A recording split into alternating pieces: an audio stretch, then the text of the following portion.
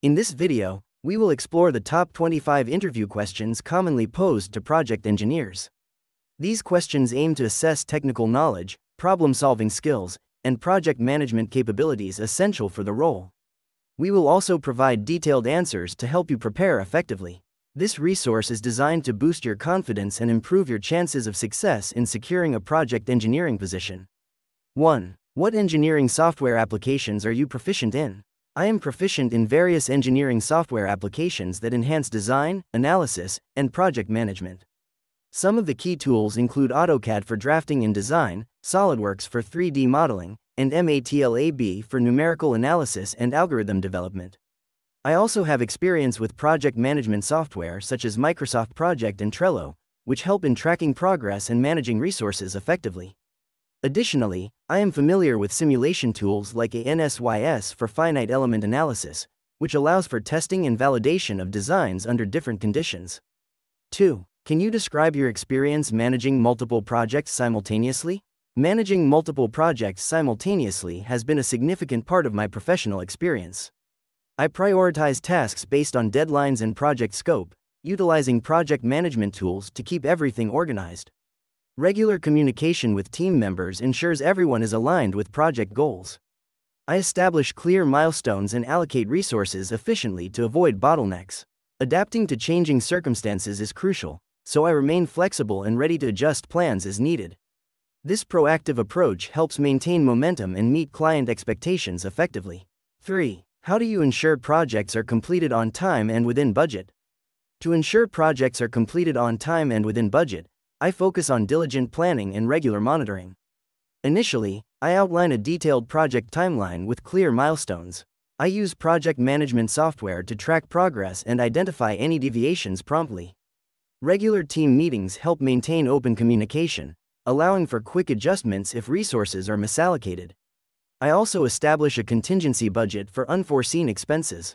By fostering a culture of accountability among team members, I ensure everyone understands their responsibilities and deadlines, which keeps the project on track. 4. What processes do you use to check for and prevent errors in your work?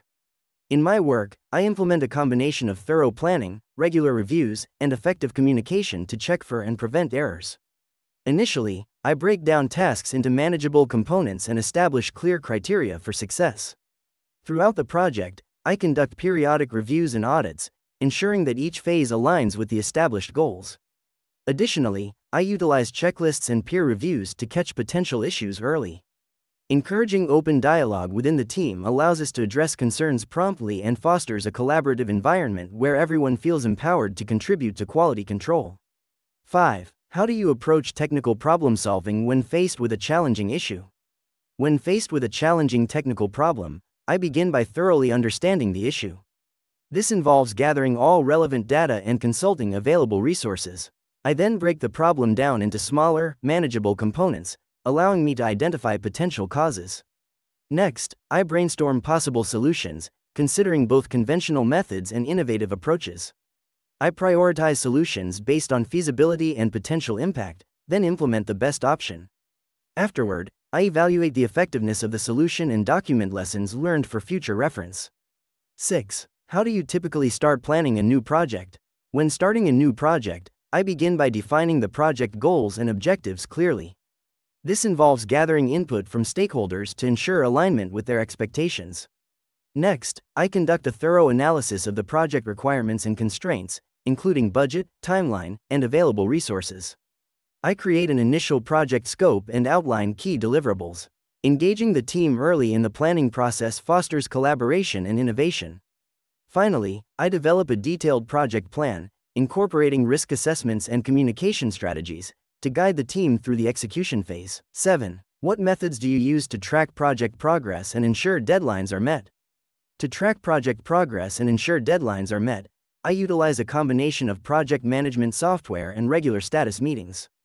Tools like Trello or Asana help visualize tasks and deadlines, allowing for real time updates. I establish clear milestones and key performance indicators, KPIs, at the project's start to measure progress effectively. Weekly check ins with team members promote accountability and facilitate early identification of potential delays.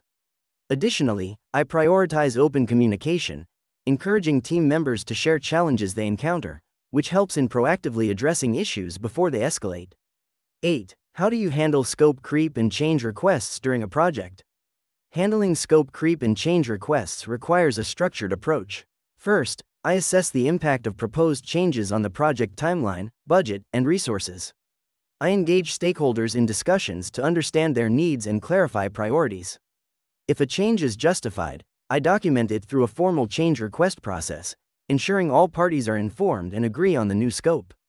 By maintaining clear communication and setting boundaries, I can minimize disruptions while delivering quality results.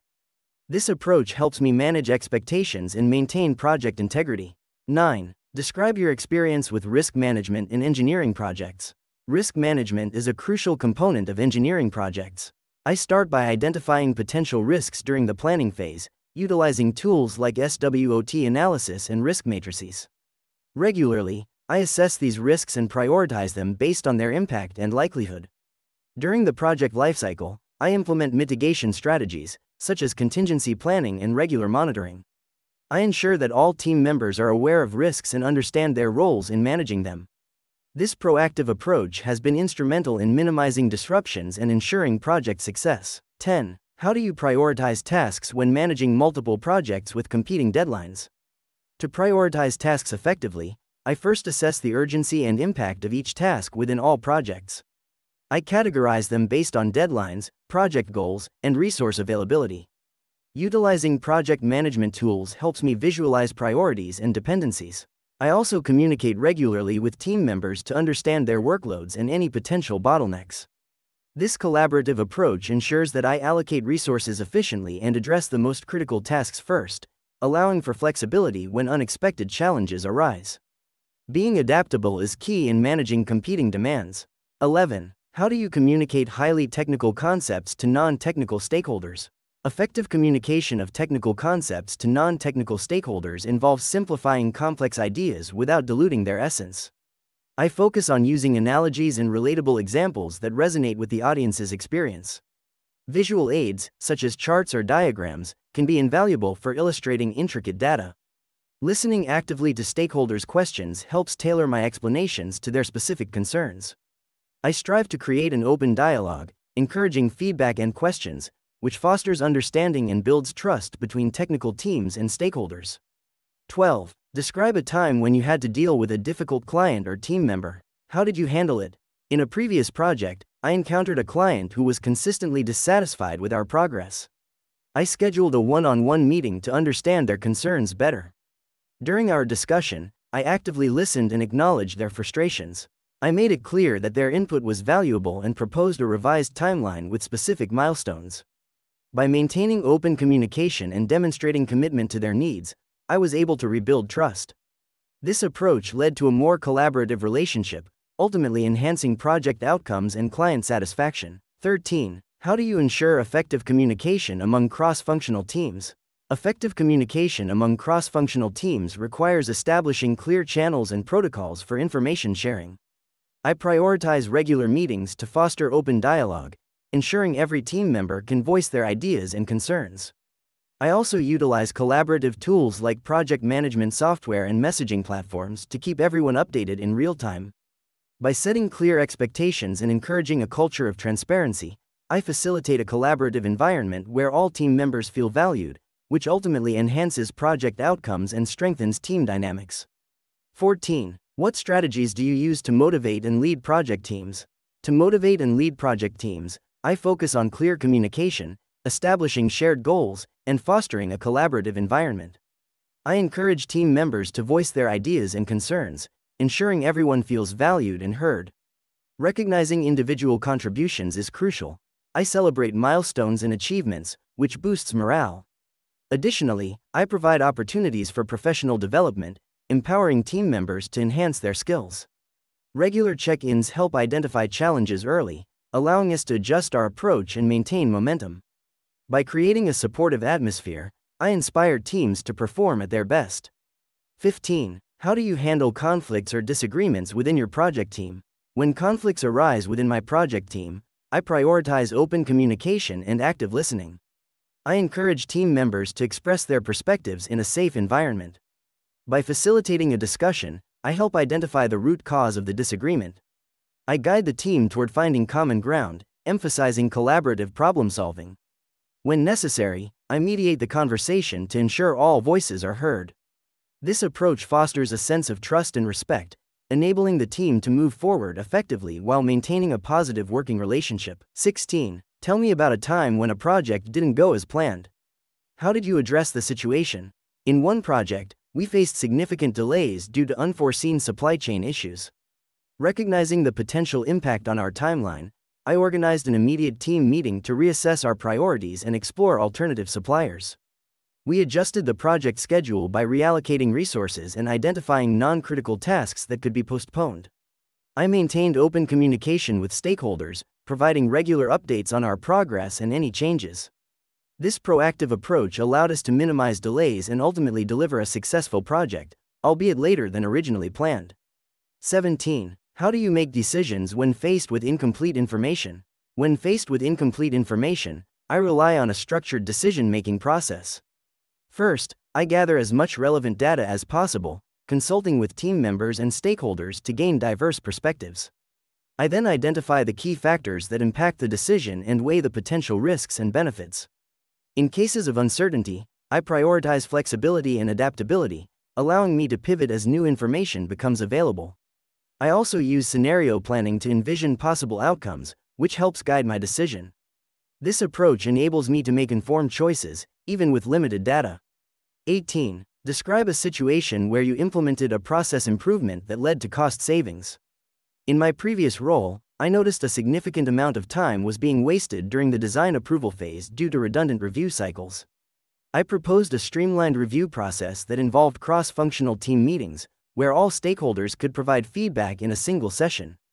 This change reduced the review time by 30%, allowing projects to move forward more quickly. As a result, we not only saved man hours but also decreased project delivery times, which led to improved client satisfaction and reduced operational costs across multiple projects. 19. How do you balance quality, cost, and time constraints in your projects? Balancing quality, cost, and time constraints requires a structured approach. First, I establish clear project goals and objectives, ensuring all stakeholders are aligned. I prioritize tasks based on their impact on quality and deadlines, using tools like Gantt charts for visibility. Regular communication with the team helps identify potential issues early, allowing for adjustments without significant cost implications. I also advocate for iterative testing and feedback to uphold quality while staying within budget and timelines, ensuring that each phase meets defined standards. 20. What approach do you take when evaluating new technologies or methodologies for potential use in projects? When evaluating new technologies or methodologies for projects, I first conduct thorough research to understand their capabilities and limitations. I engage with industry experts and review case studies to gauge real world applications. A pilot test or prototype is often implemented to assess compatibility with existing systems and processes. Stakeholder feedback is crucial, so I ensure team members are involved in the evaluation process. Finally, I analyze cost effectiveness and potential ROI to make informed decisions that align with project goals and organizational values. 21. How do you ensure compliance with safety regulations and standards in your projects? Ensuring compliance with safety regulations and standards involves a systematic approach.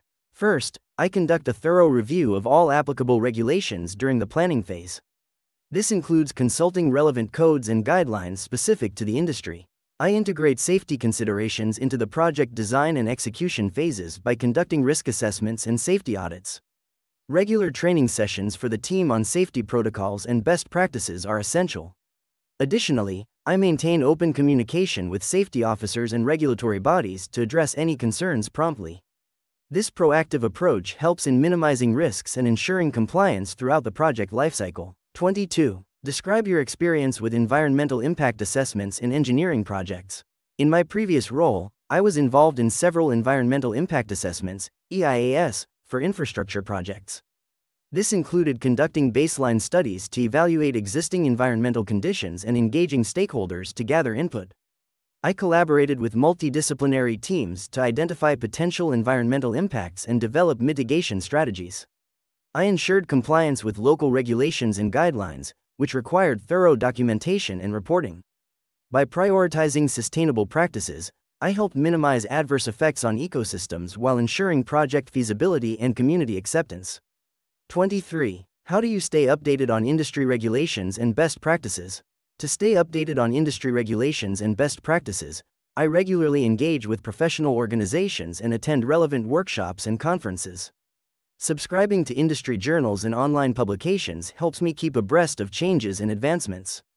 I also participate in networking events, which provide insights from peers and leaders in the field. Engaging in continuous learning through online courses allows me to explore new methodologies and technologies. Additionally, I follow key influencers and thought leaders on social media to gain diverse perspectives on emerging trends. 24. Where do you see yourself professionally in five years?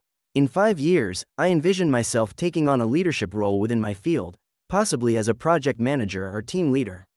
I aim to further develop my technical skills while also enhancing my ability to mentor junior engineers.